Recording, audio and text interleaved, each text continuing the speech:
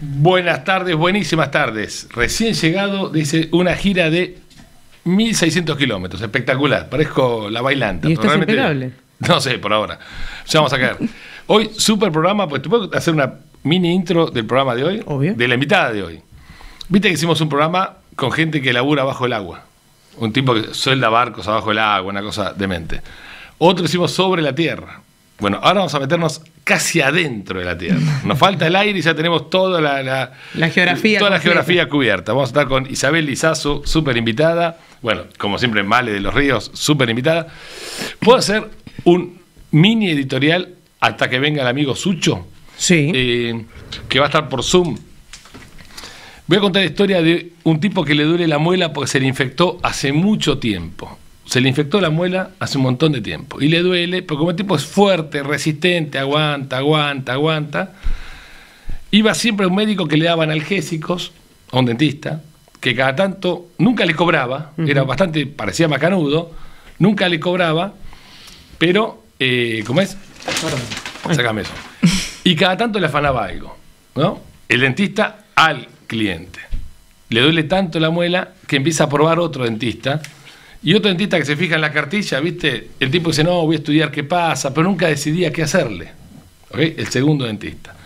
El tercer dentista ya es un tipo más grande, más serio.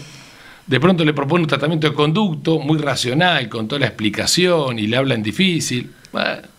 Y aparece un cuarto dentista que le dice, te voy a sacar la muela de una. Y te, te voy a cortar el dolor, te va a doler, te va a quedar mal los dientes posiblemente, me vas a a insultar durante seis meses, ocho meses, pero después te vas y te haces tu vida propia. El primer dentista es el kirchnerismo, el segundo dentista es el radicalismo, el tercer dentista es el PRO y el cuarto es mi ley. Yo creo que lo que está pasando es una sociedad que estaba recontra recansada de dolor, que realmente se la bancó 70 años porque somos resistentes al dolor y la podemos bancar un montón de tiempo, pero en un momento se cansó, dijo basta y le pide a gritos que alguien le saque la muela. Yo ayer cuando vi el acto de Milei, en, lo vi aparte, porque estaba en una charla en, Bolívar, que después la, voy a comentar, dije, no, pará, aquí hay una sociedad que le pidió el cambio a un tipo, encontró un tipo y le, ofreció el cambio. Y todo lo que no se adecue a un cambio tan drástico, tan disruptivo como la sacada de, una muela, aunque quizás lo más correcto sea el tratamiento de conducto, no, no importa, sacame la muela y chau. Me parece que esto es un buen resumen de lo que está sucediendo. Hay un enamoramiento con el dentista que te va a sacar la muela. Y a la gente dijo, basta, pues no me banco más el dolor este, no le creo más el primero, no le creo el segundo que me chamulló durante un montón de tiempo, el tercero no le entiendo mucho lo que quiere hacer, listo, sácamela, listo, cerró el comentario. Me pareció lo venía pensando en este comentario de Ruta 205, pues lo pensé. Existen los analgésicos también. Bueno, bueno, está bien, existen los analgésicos, pero el tipo se cansó de los analgésicos. Quiere la, terminada del dolor. Me parece que la sociedad está en eso.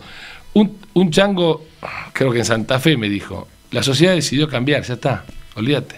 No, pero me refiero a por ahí, la ley de base sería el analgésico, a que ya me sacaron la muela, ya me dolió, que salga algo que, no, No, es que la ley de base es parte de la sacada de muela, no es un analgésico para mí va a contribuir fuertemente a que el, el analgésico podría ser, por ejemplo, seguir un poco esperando a aplicar aumentos. Ese podría ser un analgésico. El analgésico puede ser una vueltita de un plan, un cachito de vuelta de inflación. Eso es el analgésico. Ese es el analgésico. Y si el tipo sabe que no le funciona más, ahora va a depender de la musculación de él, de la musculatura que haga a partir, obviamente, que después hablaremos un minuto de la ley base, que es un tema no menor. ¿eh? No, y, hoy, hoy, justo me estábamos comentándolo con Lacha sobre la importancia del paquete fiscal. Digo, hay una cuestión también, por, una división de poderes, el cual el presidente sería malo que el presidente pudiera hacer todo lo que quiera hacer en cualquier país, porque por algo es el juego democrático, pero también tiene que haber un acompañamiento por parte del Parlamento o del Congreso en este caso para un rumbo que se quiera hacer un giro y que eso fue lo que también votó la gente, ¿no? Girar 180 grados. Sí, volvemos en un minuto. Está el amigo Sucho, me dicen, por eh, en algún lugar del planeta. Ahí está. Qué grande Sucho. Acá estoy. Saludos de las tierras paraguayas. No, los escucho bajo y no quiero interrumpirlos y no quiero que moleste más. ¿Ahí se me escucha bien, Lacha? ¿Vale? Perfecto, impecable. Excelente. Déjame una sola cosa quiero decir de paso ya que están, saludar a nuestra invitada y gracias que ahora la vas a aprovechar eh, y que desmistifique lo que es la producción agrícola en Argentina. Eh, quiero sumarte al ejemplo del dentista. ¿Puedo? ¿Me dejas sumarte para que completes el ejemplo que está muy bueno? Resulta que una vez un tipo va al dentista y el dentista le dice, te tenés que sacar la muela. ¿Por qué? Porque si no en un año te va a doler. Bueno, vengo dentro de un año. A veces una sociedad reacciona solo cuando siente el dolor. Y durante mucho tiempo no hicimos los cambios, sabíamos que era dolorosísimo, sabíamos que nos íbamos a infectar y que iba a ser peor. Y bueno, llegó el dolor del todo y ahí es donde decidimos ir al dentista en el ejemplo que vos dabas. Y un punto que te quiero tirar también que escuché el otro día, llamándose esto economía real y tratando de economía real, que me gustó mucho, que me lo daba un dirigente de una cámara pyme de zona sur. Y me decía, mira, ¿te acuerdas que nosotros estábamos en esta batalla, yo te sigo a vos en realidad, de eh, cuánto paga un empresario y cuánto cobra un, empleado. Entonces él dice, agregando el ejemplo, para que lo contes en Neura, para que se lo cuentes a Lacha y a Male, dice, esto es así. Yo un empleado, vamos a suponer, pago dos millones. El empleado recibe un millón de pesos. En realidad me dijo es un millón ochocientos y el empleado recibe un millón de pesos. Entre todas las cargas que tengo que pagar y todos los descuentos que le hacen a él. Pero cuando él va al supermercado, el poder de compra de ese millón de pesos es 750 mil pesos cuando le resto IVA, la parte de ingresos brutos que tiene el producto. Entonces, el empresario paga 2 millones, el poder de compra que tiene el empleado finalmente cuando va al supermercado de 750 mil y nosotros solo discutimos si el dólar está atrasado, en vez de bajar ese costo argentino. Te quería sumar eso, nada, como puntos de ejemplo, para que te dejes desarrollar y te luzcas como siempre, y ahí con, con Male, y perdón que nada, creo que escucho mal y, hago doler a los oyentes y hablo así a esta distancia. No, no, perfecto, Sucho. Y te digo, dólar atrasado es costos adelantados. No, no miramos los costos adelantados y siempre buscamos el dólar atrasado. Y, a veces cuando pedimos que, que la devaluación arregle, lo que estamos pidiendo es que el pobre extranjero nos pague con emisión monetaria los líos que no queremos, los dolores de muela que no queremos resolver. Es así. Pero bueno. Eh, Grande Sucho, estás en Paraguay, entonces, ¿cómo anda Paraguay? Dame una línea de Paraguay, ¿es cierto? Bien, me tocó justo una charla con el presidente en un evento, yo representando más que nada la Federación de Bolsas y, y, estaba el presidente Santiago Peña, que la verdad que escuchabas el impulso sobre la economía real y sobre, en el discurso, hay que ver después, pero me encantó eh, cómo apoyar al sector productivo con la Cámara Productiva, ¿no? Y la pregunta es, vos sabés que es un país que es el único de la región que nunca le sacó un cero a su moneda. Es un país que bajó mucho impuestos y terminó recaudando más. Eh, con la baja de impuestos es un caso para estudiar y él lo, cuenta. Eh, no cambiaron mucho las cosas, asumió hace nueve meses y no es que destruye lo que hizo el anterior. Eh, y era música para mis oídos escuchar cómo se ponía a disposición, cómo hago para que a ustedes le vaya mejor, diciéndole obviamente es políticamente correcto al empresariado, pero, pero me gustó escucharlo. Qué grande. Si quieren ceros, decirle, tenemos 13, le sacamos nosotros, le damos los que le podemos dar unos cuantos todavía. Qué grande los paraguayos. Sí, buenísimo. Eh, yo estoy escuchando muchos, muchos, muchos buenos, buenos relatos de Paraguay, de una micro que está, que están dando bien. Y es una alegría para Anda bien, ¿eh?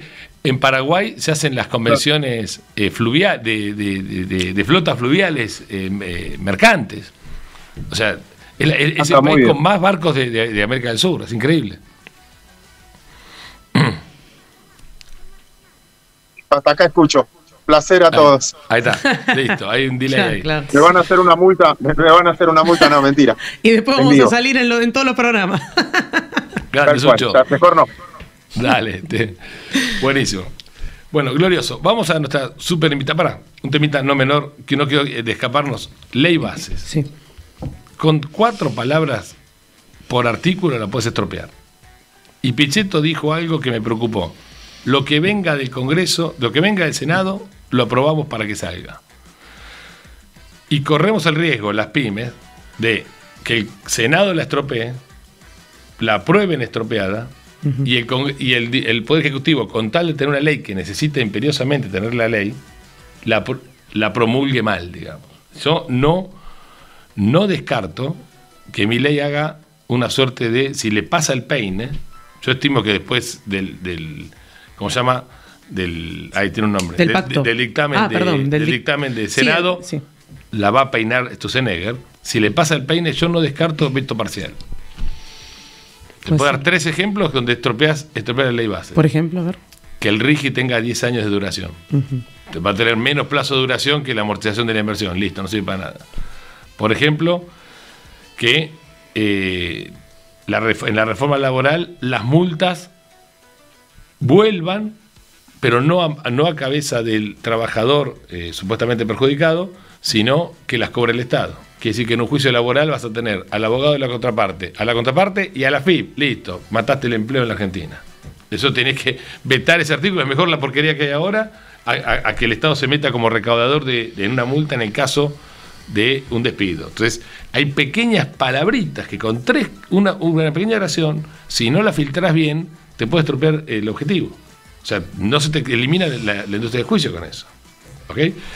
Y viendo a un, a un productor, hoy, para, yo, hoy, hice una visita de todo un parque industrial, me rompí la cabeza.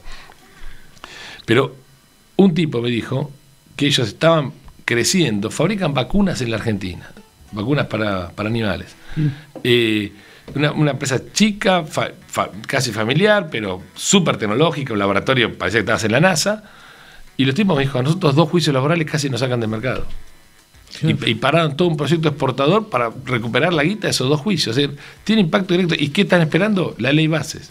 Entonces, yo te van a ir mañana al Senado así, loco, déjense de joder, saquen la ley y punto. Pero tengo miedo que venga estropeada y que pase de Chirusa estropeada. Quiero pensar que le, le, van a pasar el peine y que si hay que hacer un veto parcial, que lo hagan. O sea, el presidente dijo el otro día, si, si un, pasar un proyecto de ley que me elimina el equilibrio fiscal, loco, la veto y chao. Y me encantó esa, esa expresión. Ahí dice la clave, ¿no? Porque acá hay un montón de premisas que el gobierno en campaña dio, como dolarización, pero acá, acá hay una cuestión, ¿no? Déficit cero, equilibrio fiscal. Y esas son como las máximas a cumplir. Tienen que estar acompañados por parte de la ley. Acá también se juegan, se ponen en juego distintas cuestiones, porque la ley bases no solamente eh, abarca lo que es la pyme, sino que son muchas, muchos vectores que se están eh, jugando. Entonces, acá va a tener que el gobierno, el gobierno hablo del Ejecutivo, mi ley, va a tener que decidir a qué le da, vamos a decir, mayor peso específico, porque la aprobación de la ley base, uno lo que está mirando es, bueno, ¿qué también miran los inversores desde afuera? Porque vos necesitas, por un lado, inversiones del exterior para poder que se acrecente el, trabajo privado. Pero las pymes también importan. De hecho, no sé, no sé si lo viste, seguramente el comunicado de la CAME o como la UIA intervino diciendo, mira que también esta ley tiene que permitir a todas las pymes formar parte de los beneficios. Entonces, ahí hay una jugada que va, va a depender de la política y no tanto de la economía. el gobierno que a qué le dé eh, mayor eh, importancia, mayor prioridad, es así, porque una cosa es hacer las cosas bien, y otra es hacer a medias para tener también un parte de, apoyo. Hay que mirar todo el tablero. Por eso la política no puede jugar una mala pasada. ¿eh? Puede jugar una mala pasada dentro de, este que esquema. una ley sin estos detallitos, porque son detallitos chiquitos que son muy difíciles de ver. exactamente. Y te das cuenta cuando después tenés la carta de documento. Vamos al sector agropecuario. Me encanta. La señora, señorita, señora que invitamos, mira, es la que me explicó que yo siempre pensé que el, mundo era fácil, era Adán, Eva y trigo en la pampa húmeda. ¿Y es así o no? Trigo, que era siempre, que era fácil hacerlo. Como una vez se dijo que era un yuyito, que tirás tres semillas y crece. Y resulta que es bastante más complejo, que es absolutamente apasionante, para los que no entendemos nada, es realmente alucinante, que hay un montón de factores, pero experta en siembra directa, o por lo menos una gran eh, entusiasta de la siembra directa, que le pone una gran pasión al tema. Contanos un poquito, si querés, Isabel Lizazo, eh, de la zona de, para, se me fue... Casbas. Casbas, Guaminí. Eh, contanos un poquito qué es cuidar el suelo, desde dónde empieza la producción agropecuaria y, y cuánto es falso hay eso que tiras una semillita y crece solo. A ver, probablemente en muchos lugares tires una semillita y crezca sola, pero no es eso lo que queremos. Digo, en la población mundial está en enorme aumento y la realidad es que nosotros tenemos que producir alimentos. Eso es así. Y cada vez más y mejor y más sustentablemente. Entonces, haciendo ese resumen, no nos basta con tirar una semillita y que a lo mejor crezca. Necesitamos producir. Y eh, Esto puedo retirar, ¿no? Sí, sí, sí. sí, Cualquier cosa yo te digo, acá. Y, entusiasta de, de, cuidar el suelo porque es en el suelo donde nosotros producimos, o sea, es la base nuestra. Yo siempre lo comparo, hoy estuve, que vos me preguntabas recién, eh, de aula Presid, que después puedo contar qué es, hoy estuve en la UCA, en la carrera de ingeniero agrónomo, en primer año, con una de las comisiones, y yo lo que le decía a los chicos es, el suelo donde nosotros vamos a sembrar es como un hijo nuestro por más que esté cara la carne o la verdura, yo lo voy a alimentar lo mejor que pueda. El suelo es donde yo produzco. Entonces, a mí lo que me interesa es que ese suelo esté bien nutrido porque es el que va a sustentar después todo lo que yo tenga ganas de sacar arriba. Entonces es imposible que yo pretenda sacarle y sacarle y sacarle, es como tener un hijo y no alimentarlo nunca. Y no me sirve hacerle dos, tres años de, recesión o de no darle de comer y después de, bueno, un año que los números me dan un poquito mejor, le tiro toda la comida encima. No, es todos los días y tiene que crecer y tiene que aumentar la materia orgánica, eh, el carbono en el suelo, ¿no? ¿Cuál, ¿Cuál puede ser la consecuencia a largo o a mediano plazo de no cuidar el suelo en la Argentina? Eh, Argentina es uno de los países del mundo que tiene mayor adopción a la siembra directa. La siembra directa porque acá hay, acá no, sabemos nada, claro, Acá hay público no agro. ¿Por qué, bueno, vamos de cero. ¿Por qué la siembra directa cuida el suelo? ¿Qué significa eso? La siembra directa es eh, en sí misma, solamente siembra directa, es sembrar poniendo la semilla, removiendo lo menos posible el suelo. O sea, yo puedo poner semilla y fertilizante, y fertilizante pasando con una cuchilla, abriendo el surco, se pone la semilla, se pone el fertilizante y una rodita que tapa. Entonces casi que no moví. ¿no? Como haría la naturaleza cuando se cae una semilla de una planta que maduró, cae al suelo y tira la semilla. Eso es la siembra directa. No hace el surco gigante. Claro. no eh, se hace eso. No, las, las sembradoras hoy son muy precisas, digamos, se abre con una cuchilla que corta por si tenés algún rastrojo, rastrojo es el residuo de cultivos anteriores, que puede ser una caña, puede ser una caña de un maíz, por ejemplo. Entonces corta eso, mete la semilla dentro y tapa, o sea, casi que no remueve. Entonces, esa es la siembra directa. La realidad es que en muchas partes del mundo, la, Argentina tiene una adopción de 90% de siembra directa, es decir, ya nadie siembra acá removiendo, no, siembra directa. El tema es ese complejo de cuidar el suelo no es solamente sembrar sin remover el suelo, sino que después no lo remuevas, porque uno puede hacer siembra directa, pero después agarra y pasa una reja. Una reja es eso que viene... El, disco arado para hacer... Claro, que das vuelta a todo el pan de. Exactamente, y dejas la parte de abajo de la tierra, la dejas arriba.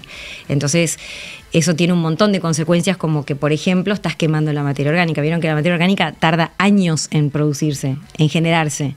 Entonces, son suelos, todos los, todos los suelos de Argentina, todos los suelos del mundo, tienen años de acumulación de residuos que van generando materia orgánica. Entonces, cada vez que yo abro un suelo y le doy aire y lo doy vuelta, quemo la materia orgánica. Ahí podemos eh, entablar con un montón de temas como el del, el del calentamiento global, que Europa está tan con la Agenda 2030 que tenemos que tratar de no emitir carbono. Bueno, cuando damos un, vuelta a un suelo, lo damos para arriba y quemamos materia orgánica, el carbono lo estamos mandando al medio ambiente. Y la agricultura y la ganadería, por ser biológicos y por basarse en fotosíntesis, básicamente, porque los animales comen de praderas. Voy a meter un montón de temas, pero como me apasiona, yo voy. Después córtenme si voy, si mezclo mucho.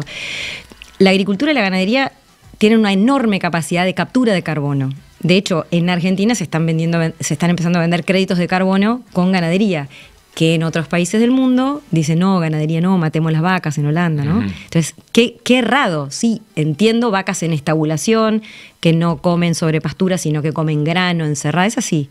Eso, de alguna forma, este, no contribuye. Pero todo lo que sea sobre pasturas, la vaca come el pasto, vamos a ponerlo a cero, ¿no? Va la vaca, come el pasto. Al cortarlo, le genera un nuevo crecimiento y rebrote. Esa pastura crece. Mientras está creciendo, hace fotosíntesis. En ese periodo de fotosíntesis captura carbono. Y el carbono lo saca del medio ambiente y lo lleva al suelo. Recarboniza los suelos que si la vaca, una boludez, pero si la vaca no comiera el pasto, generaría eh, eh, absorberías menos carbono. Sí, porque todo lo que es gramíneas, la la pampa húmeda básicamente nunca tuvo eh, bosques, no es que se deforestó. La pampa húmeda siempre fueron pasturas, diferentes tipos de pastos naturales, pero pastura al fin. Entonces, cuando ese pasto, imagínense un pasto que llega a la etapa, a la madurez y se convierte en una espiga, ¿vieron? El pasto en algún momento tira espiga y eso se seca. En ese momento no captura más carbono. De hecho, empieza a emitir, porque ese residuo para descomponerse emite. Bueno, para, para, igual no me quiero meter tanto en carbono. déjame ir a la agricultura, pues yo me, me llevé biología 1, 2 y apenas estoy por la 1. Te sigo, te sigo. vos decís, tengo que cuidar el suelo y lo cuido para que no se me gaste la materia orgánica, porque supuestamente la materia orgánica es lo que le da de comer a las plantitas, a la raíz de las plantitas, más Correcto, o menos. sí, a la, sí, sí. Si yo lo, lo, lo, abro todo así, el oxígeno quema esa materia La orgánica y ta- cuesta mucho en hacerlo. Estamos bien. Eso lo haces, primero lo que me interesa mucho es la, la- la compatibilidad. Lo haces porque tenés que cuidar tu negocio, vos estás cuidando tu activo, en definitiva estás como cuidando la máquina. Por eso que cuando te hablan de la Agenda 2030, que hay gente que está a favor, hay gente que está en contra, gente que duda, gente que dice que el calentamiento global no es... No importa. Yo me abstraigo No. de la Agenda 2030. A mí me interesa cuidar mi suelo. Ahí está. Bueno, hace digo. poco salió una noticia donde la Fed, la Reserva Federal, indicó que uno de cada cinco estadounidenses perdió en términos financieros por cuestiones climáticas. Digo, ¿cómo hacen esa evaluación? Salí de la Agenda 2030 porque tiene que ver con la política. Eh, ¿Cómo evalúan el tema del clima acá en la Argentina y cómo también beneficia la siembra directa en relación a, una crisis climática? Lo vimos también con la sequía. A ver, esto es absolutamente experiencia personal. Yo lo que veo con, con este manejo intensivo de eh, cuidado del suelo, con cultivos de servicio, que después si quieren les cuento qué es un cultivo de servicio y demás, lo que sí veo es que todos los cultivos son mucho más resilientes. Hay, una, hay un cambio en el clima, digamos. Vos del granizo en el campo, uno asegura. Entonces huís de la posibilidad de una pérdida por granizo asegurando el cultivo. Esa es la única que no importa el suelo que tengas, te caben a pedrada, te dejan sin nada. Ahora, helada nos cae a todos lo mismo, sequía nos viene a todos por igual, pero el manejo que vos le des a ese suelo y la riqueza que tenga ese suelo te permite que el cultivo de arriba sea mucho más resiliente que el vecino que parte de un mal manejo del suelo. O sea, eso... Sea, eh, una vez un amigo en. Para, Quemú Quemú, me dijo: la producción nuestra es administrar el agua. Y vos decís que además de administrar el agua, la producción de producto agropecuario, de, de, agrícola, ¿no? Además es cuidar el suelo. O sea, el suelo no lo puedes tratar. Porque siempre hay un mito que no, los ojeros le pegan a 10, 20 veces soja y le sacan todos los. Me estás tocando temas apasionantes y yo te voy a bueno, empezar a decir pero cosas. yo digo los mitos que tiramos nosotros. Para nosotros la- las vacas son más carnueras, tiran churrasco, pero ahí, ahí es más complejo el asunto. Porque me tiraste 10 temas, o sea, Dale. yo salté ante todas las carnadas que me tiraste y ahora tengo que agarrar una por una. Eh, cuando vos me hablas de eh, cuidar el agua, evidentemente en zonas que llueve... Administrar el agua. Administrar el agua. En zonas que llueve poco, eh, administro el agua porque la quiero reservar. Un pequeño. Yo me moría de risa cuando iba. pues, vos vas y hablas con la gente. Y es después de la ruta 6 es otro idioma. Es otro, otro idioma. Hablan otras palabras, todo distinto. Un poco más las letras son distintas. Un día uno me dice, no, estamos contentos, pues llovieron, ponerle 14 milímetros. Y en el año vamos 100. Y yo en mi vida conté los milímetros Claro. que llovía. Para mí es un dato totalmente Para vos irrelevante. se mojó la vereda o no se mojó la Se vereda. mojó la vereda, me ensució el auto, digo, la puta, lo parió. Pero, digamos, me parece increíble cómo es administra el agua. Contame, seguí. seguí. Bueno, si vos tenés eh, bajo, bajo régimen de lluvias y necesitas producir cultivos, evidentemente, si es poco para tus cultivos, necesitas eh, retenerla, conservarla lo más posible. En el cuidado del suelo está la retención de agua, pero te puedo decir la contracara. Alguien que tiene la napa, la napa es el agua subterránea Sí. muy cerca y que si te llueven 50 se te inundó y no podés sembrar o no podés cosechar. Entonces, el cuidado del suelo, eh, digamos, te da herramientas para todo eso. ¿Viste cuando vos hablas de economía y de las herramientas? Acá es lo mismo. Y no todas las zonas, y la zona de sequía no es lo mismo que la zona que se inunda, que tenés napa, que tenés eh, altas temperaturas, que bajas temperaturas. Las herramientas están para el cuidado del suelo y cada uno lo que tiene que hacer es hacer uso de la que necesita. Si yo tengo un destornillador y vos tenés que clavar un cuadro o, o un Sí. clavito en la pared, me decís, mira, no sirve. Entonces, cuanto más herramientas tengas, y lo mismo pasa con el suelo. El cultivo de servicio, que es eh, algo que, que- que yo abogo mucho y que lo usamos los que cuidamos. Porque no se entiende. Explícalo porque no se entiende. Cuando vos vas a sembrar un cultivo para cosechar y vender el grano, llamémoslo cultivo de renta, por eso te da una renta. Entonces, normalmente Trigo, maíz, soja. soja, colza, canola, girasol, Maíz. cualquier grano Sí. que vos siembres para cosechar y, y vender. Ahora, eh, para cuidar el suelo, vos lo- nosotros lo que sabemos es que la microbiología que hay en el suelo, que es muy rica, por ejemplo, te tiro datos, está más de 100 veces aumentada donde hay raíces. O sea, alrededor de la rizósfera, que es donde están las raíces de las plantas vivas, la microbiología está aumentada más de 100 veces. Eso es bueno. Claro, esa microbiología es la encargada de hacer todo el laboratorio químico de procesar los nutrientes. Yo lo traduzco a, público sí, no bajalo, eh, bajalo que, Bueno, los bichitos del suelo son los que hacen que todos los nutrientes que haya en el piso la planta los pueda tomar. Bien. O sea, no es una raíz que se mete y hace... Son el vehículo. Por osmosis, exacto. Hay todo un proceso químico ahí, producido por las bacterias, las lombrices, ¿no? Las lombrices es fantástico cómo trabajan. ¿Y cómo funcionan los fertilizantes en relación a eso? ¿Hoy están en una tecnología más avanzada Eh, que no los mate, digamos, esas bacterias? Sí, sí, po- podés hacer cosas, por ejemplo, esto que yo te digo, cultivo de servicio. Entonces, vos tenés tu cultivo de renta, eso lo entendimos, el cultivo que yo voy a vender. Ahora, cuando cosecho un cultivo, por ejemplo, ahora se terminó de cosechar todo lo que es lo que se llama la gruesa, girasol, soja, etcétera. Se terminó de cosechar. Mayo listo, púmbate, está todo listo, salvo algún maíz que pueda quedar fuera de fecha, maíz tardío. Entonces, de acá a que yo vuelva a sembrar en octubre, otra vez la cosecha gruesa, me quedan como seis meses el suelo, Por nada. lo general nadie hace nada. Queda lo- el- lo- los residuos. que Cada vez se está haciendo más No, y no- no, lo, normal. Es que nadie haga nada. Lo que se llama sé lo que barbecho. Lo dejo así, pum, esperá hasta. Exacto, lo que se llama bar- Y barbecho ahí el largo. suelo se va recuperando, en teoría.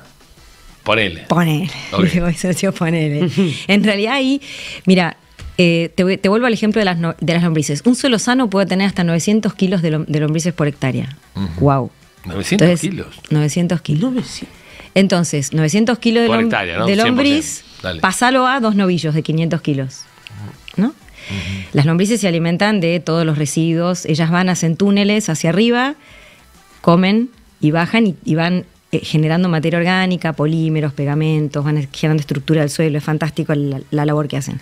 Sacate de la cabeza los 900 kilos de lombrices y metete dos novillos de 500 kilos Claro. o de 450 kilos. ¿Vos los dejarías seis meses comiendo la nada misma? No, a las lombrices tampoco. Entonces ahí es donde entra en juego un cultivo de servicio. ¿Qué es un cultivo de servicio?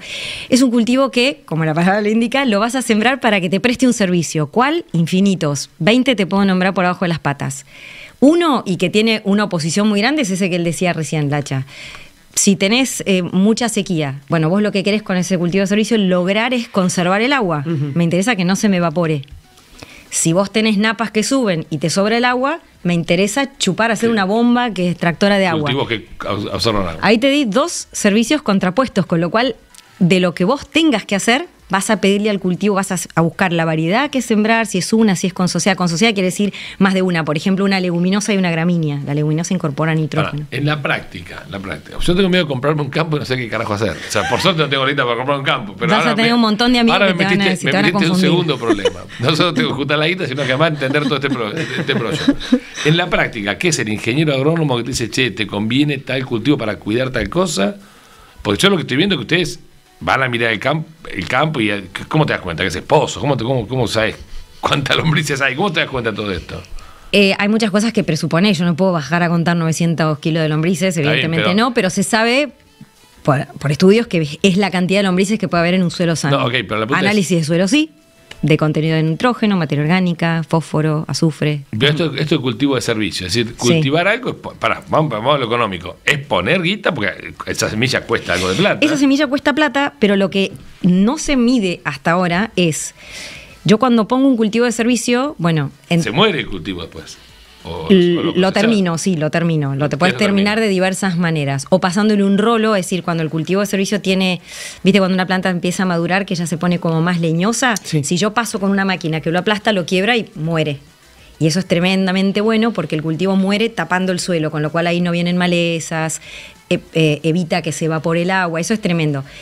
En mi zona, que yo estoy intermedio entre Quemú Quemú, que es una sequía mucho más grande que la mía, y otras zonas donde llueven mil milímetros, yo estoy en 700, una cosa así. Entonces depende el año y por ahí tengo que terminar ese cultivo de servicio un poquito antes del otro cultivo, porque si no llego sin agua.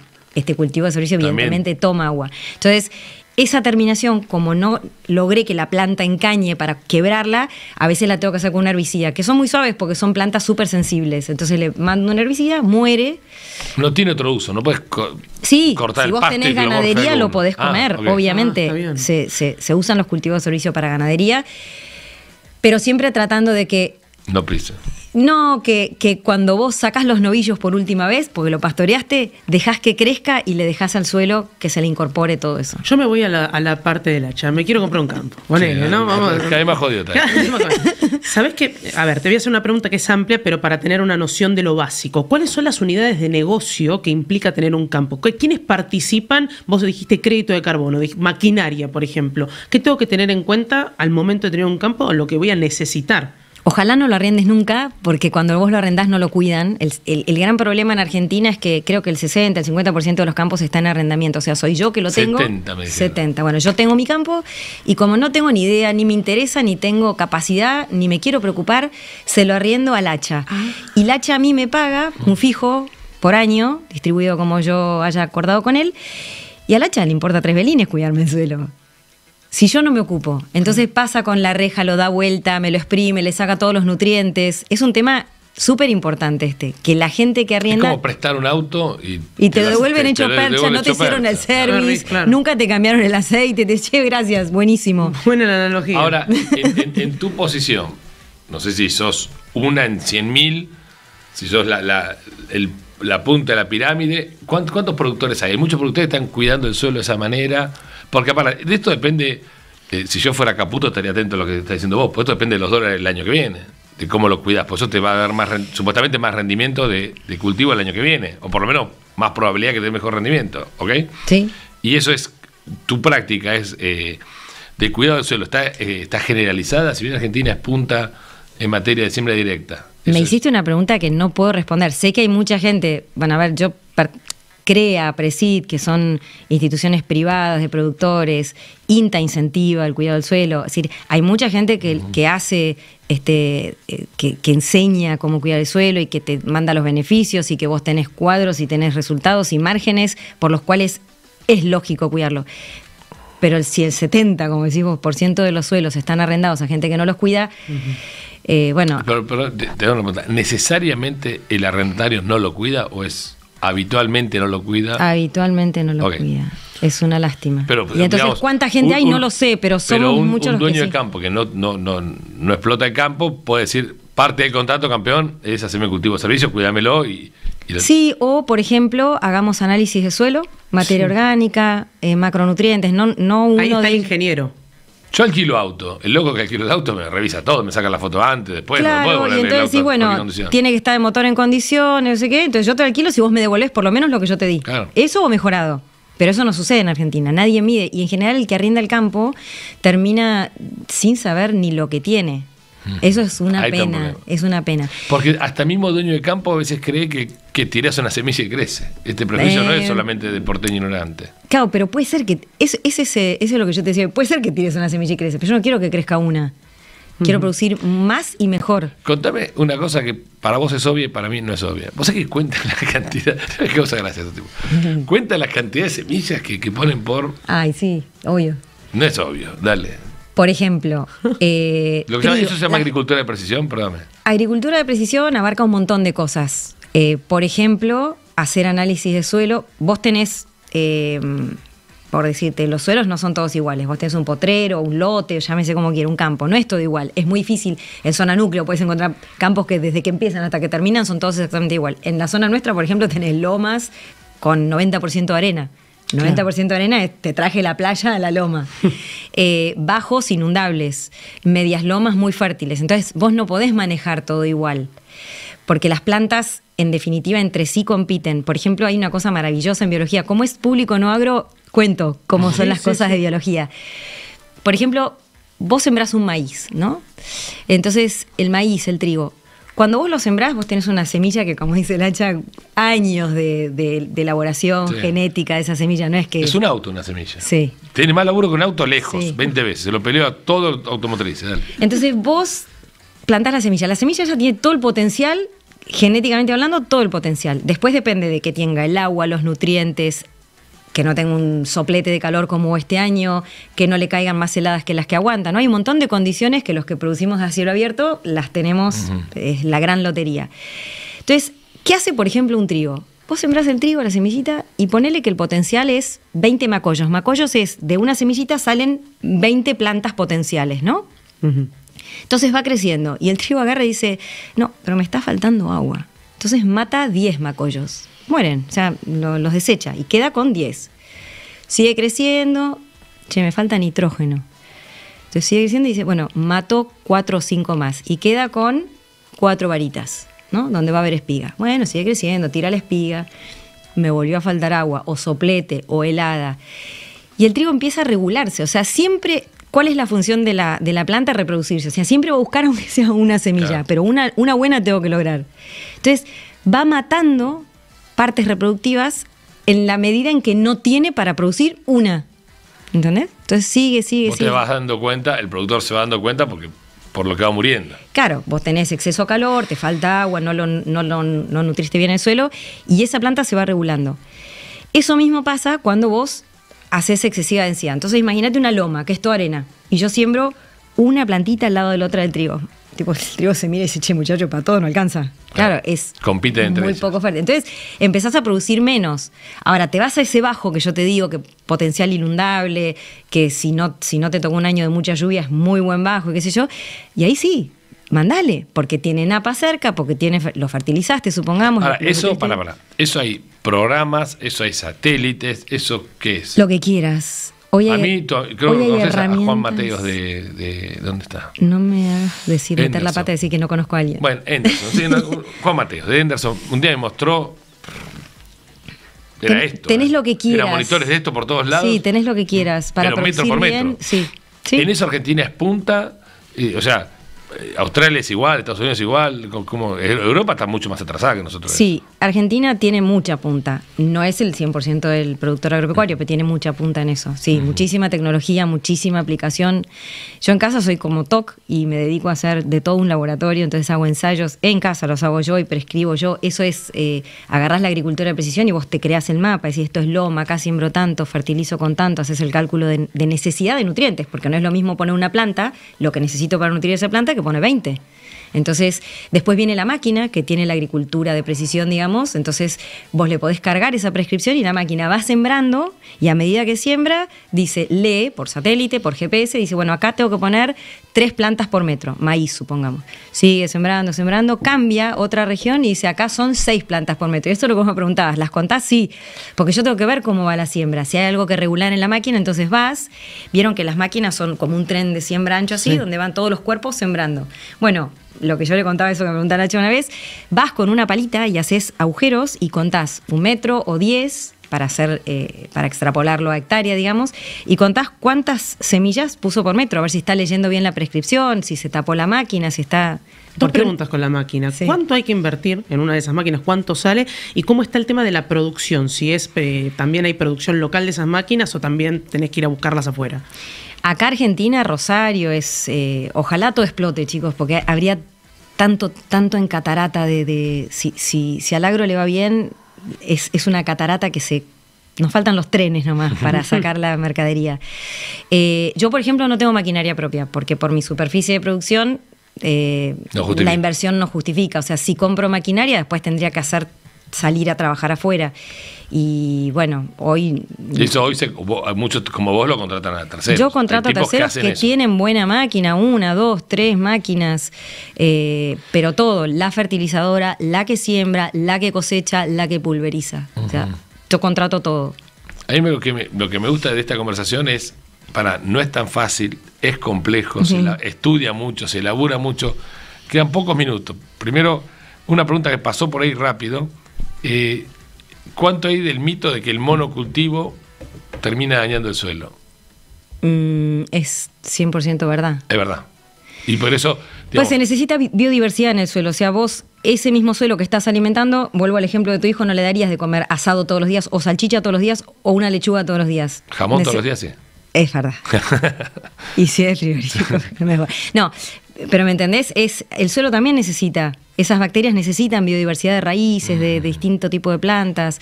Entonces, la soja, por ejemplo, es una leguminosa. Este, incorpora nitrógeno, pero es muy pobre, por ejemplo, lo que te deja en superficie. Vos cuando terminás la cosecha de soja, que la primer vaina, la primer chaucha está muy cerquita del suelo. O sea, el suelo sí, pelado. Pelado. Ahora, contanos, vos eh, participás de Presid. Sí. Eh, ¿Qué es lo de Aula Presid? Es, es fantástico. Aula Presid es algo que me apasiona. Eh, a Presid, bueno, es la Asociación de Productores en Siembra Directa.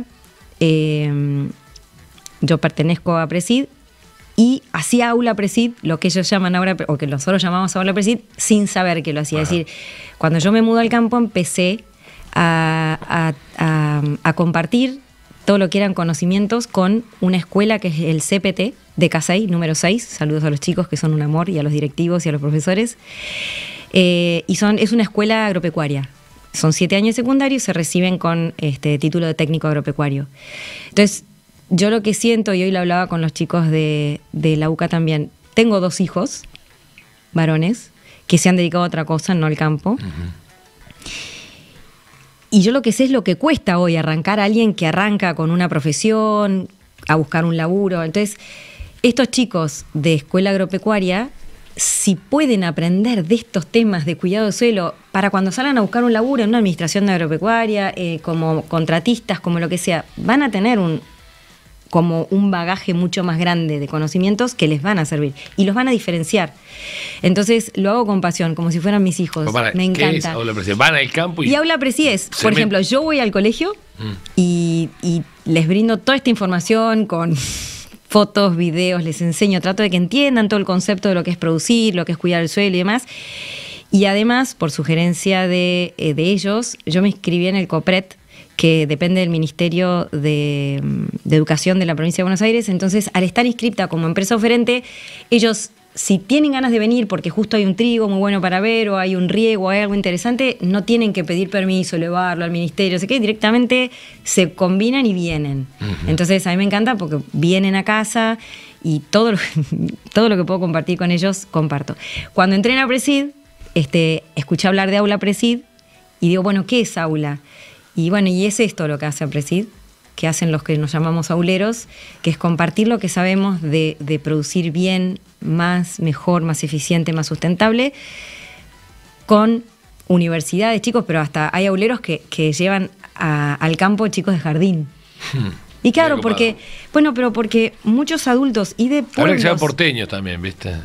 Ministros era que Sí, bueno, Póstate. está ofrecido. ¿En serio? El que quiera ir, que vaya. Mira, eh, hay una cosa que es muy interesante que lo fui aprendiendo en la ruta, que como, como el campo tiene todo vendido al exterior, no tiene incentivo a eh, negarse conocimiento. Entonces hay muchos grupos de trabajo donde ustedes se juntan sí. y Real. comparten cosas con una generosidad que nosotros no lo hacemos, yo con los colegas míos ni, ni, ni loco, porque estamos compitiendo por los clientes. Pero eh, como el problema de la venta está resuelto, eh, se comparten todas las cuestiones técnicas para producir mejor. Más digamos, y mejor, ¿no? sí. Más y mejor. Sí, nos reunimos en grupo, en la presida hacemos eso, y CREA también, digamos, uh -huh. te reunís en grupo de productores, intercambiás información, qué hice, cómo me fue, que si la sequía, que esto me sirvió, que esto no me sirvió, no hagas esto porque es un peligro, haz esto que te va a ir bien.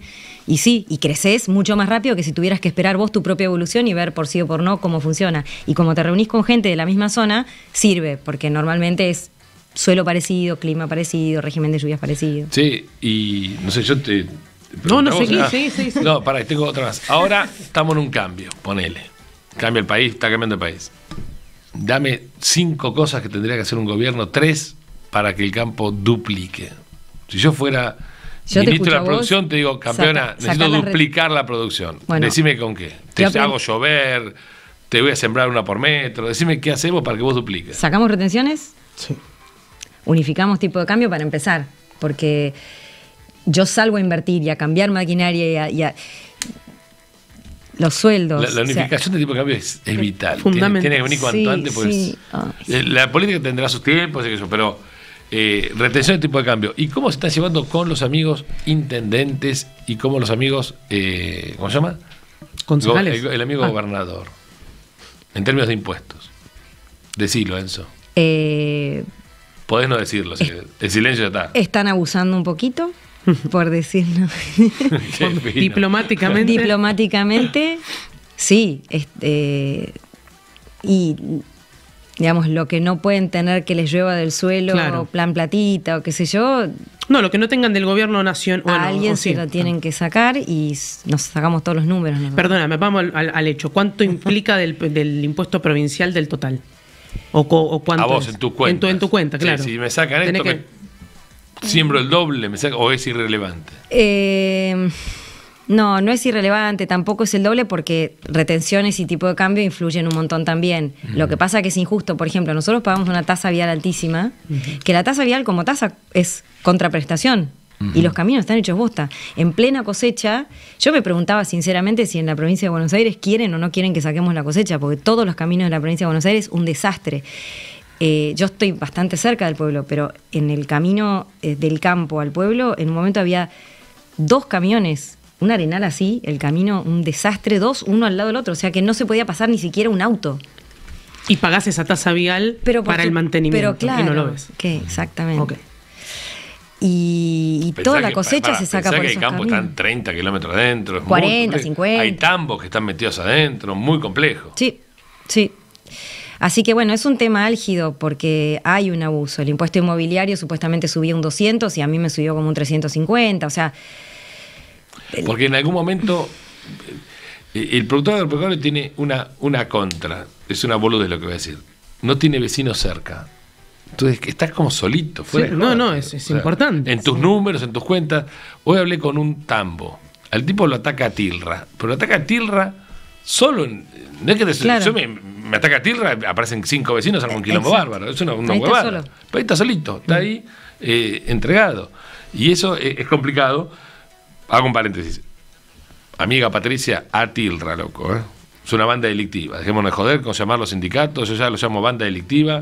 Es un desastre lo que está haciendo. La producción de, de leche está planchada hace 30 años por estos tipos. No es ni, ni los precios, ni las hojas, ni nada de eso. Es ese gremio. Es un desastre lo que están haciendo.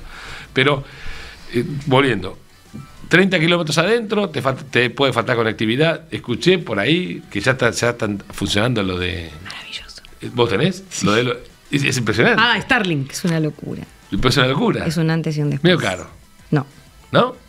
Cuatro gambas. Yo no voy a decir marcas, pero todas las marcas te cobran por instalar el sistema. Acá lo fácil es que vos vas, lo comprás y lo instalás. No tiene más instalación que es fantástico. Instalás la pantalla y Sí, cuando son la 500 dólares la, la inversión, digamos, de comprar Sí, todo el aparato, pero, pero después... todo. todas las ¿Cuánto cuesta el empresas. abono? Eso quiero saber. ¿Sale Eh, tres gambas? No voy a decir precio ni marca, pero te voy a decir que es más barato que otro satelital que yo tenía. ¿Te sirve? Ah, ok. Ok, no.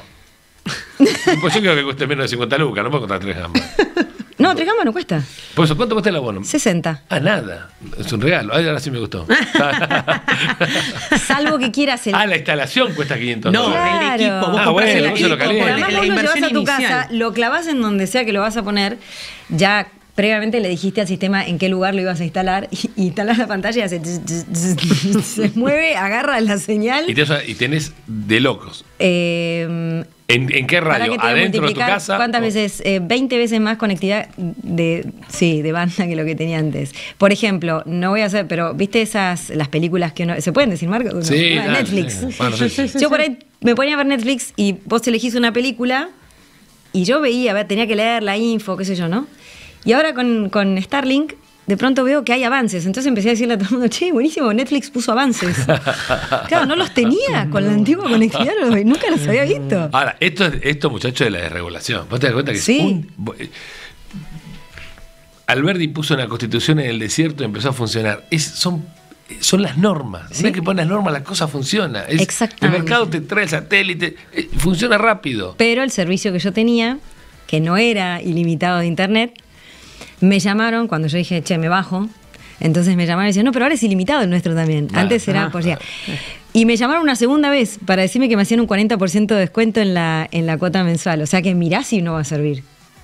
Mirá si no va a servir. Sí, para, tenemos dos minutos, no sé si vamos a cumplirlo justo, pero tema financiamiento, bancos. Estás viendo que hay más, eh, te llaman los bancos, sea que dijiste llamó, me, me hiciste acordar. No, Ahora llaman un poquito más que antes. no todavía. ¿No todavía? Por lo menos a mí, yo soy pichi. Hay no, haber bueno. productores con más espalda que a lo mejor lo llaman ya, son los primeros que van a llamar. Bueno, que se dejen de joder, que llamen los bancos, che. Sí, eh, yo no me olvido cuando, cuando empezaron a bajar las tasas para Expoagro y a uno le parecían altas porque veías que el gobierno este estaba haciendo las cosas bien y que iban a bajar. Y ba- bajaron de Expoagro a 10 días después 20%. Claro. Así, ¡bum! de una. Y siguen bajando. Entonces, como... Hay dos cositas que no estamos viendo bien. ¿eh?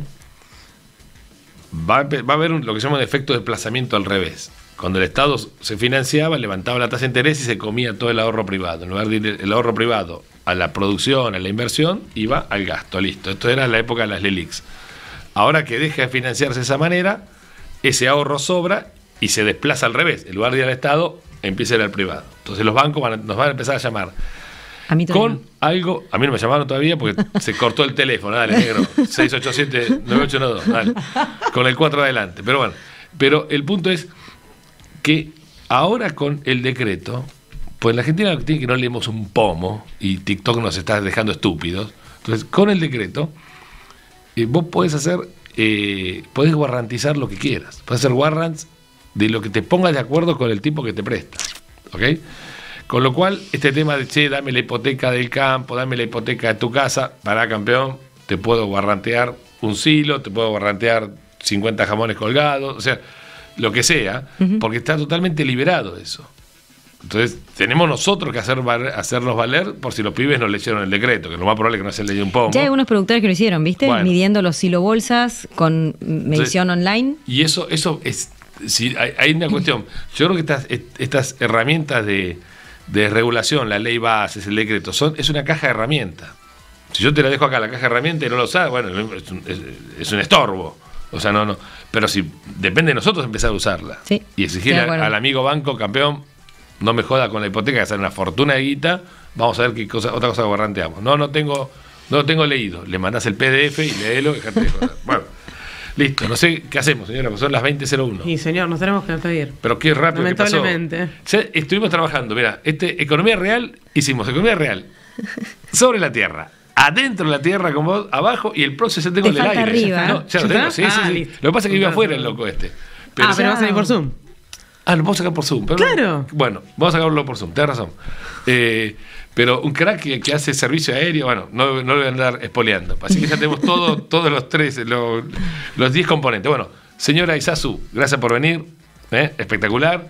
Doña Male. Gracias, Lo más grande. Así que bueno, nos vemos dentro de siete días. Economía real, real, real, posta. Listo, gracias por estar, chicos.